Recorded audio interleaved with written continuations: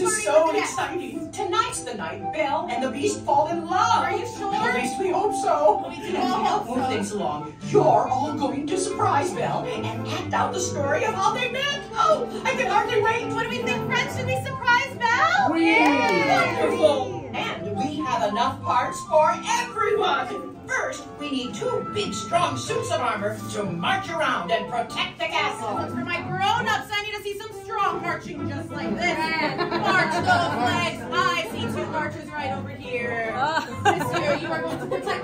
Over here. And then, Monsieur, you are going to come with me and protect the curtain on the other side. Oh, and of course, we'll need someone to play the master, the beast. He has a mighty roar! All right, my friends, go ahead and put up your claws just like this. And roar! Oh my goodness, you dressed the part, my friend. Next, we need Belle's father, Maurice. Maurice gets locked in a dungeon where he shivers from the cold. so cold in here. Everyone shiver because they're so cold. Oh my goodness, you're absolutely frozen. You're gonna go right over there, my friend. And of course, we need someone to play Philippe, Maurice's horse. Philippe says, All right, Yay! everyone say nay. One more time, everybody. Nay. Here you go, my friend. You're gonna go right on the other side. And now, Mrs. Potts and dear little Chip, the teacup, they hop All right, everywhere. everyone, go ahead and hop just like this. Hop, hop, hop. All right, Chip. You are going to go right over here, Mrs. Potts. And You're go finally, it's time to decide who gets to portray me. Oh, you've got some awfully big roars to No! fill. Okay, give me a great big oh.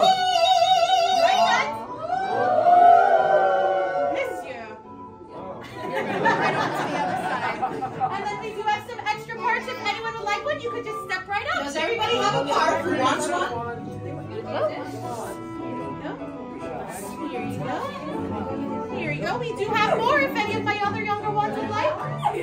No? And now I have a part for everyone to play. It will be your job to make the sound of a horse galloping.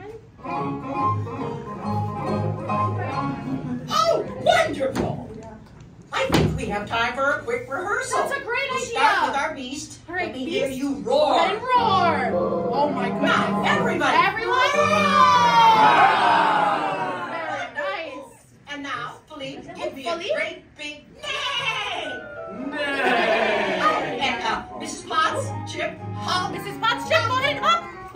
Good. Suits of armor, march. Really stop those feet. There's a castle to protect Monsieur Faster.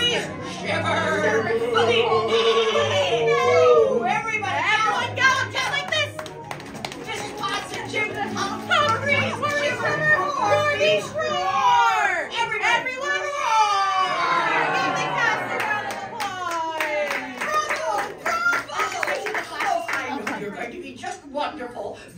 be so delighted to see you. Just wait till she sees your performance. It'll be fabulous.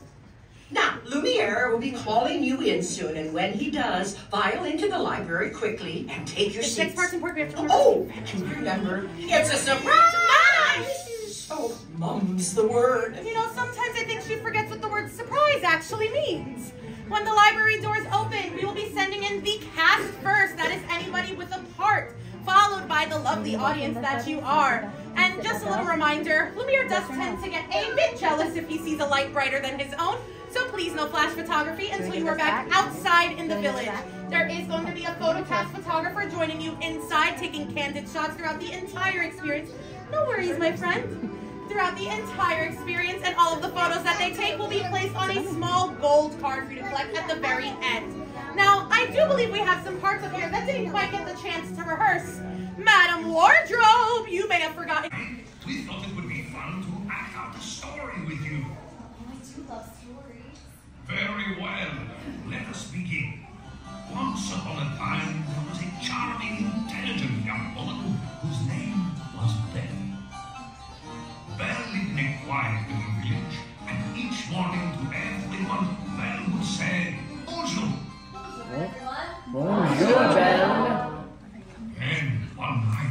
father was away on a journey. Ben heard the sound of galloping. Everybody gallop. It was the father's horse, and he returned to town.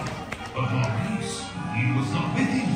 Ben asked him where her father was. Believe where's Papa?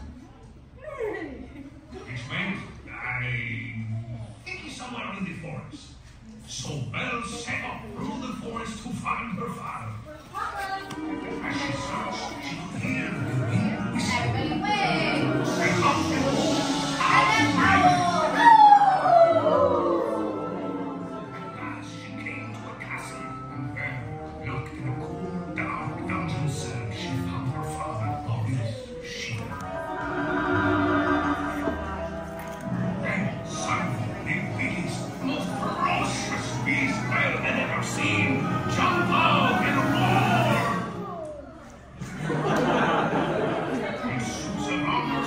stage and become a werewolf. They pleaded with the beast to let Maurice go.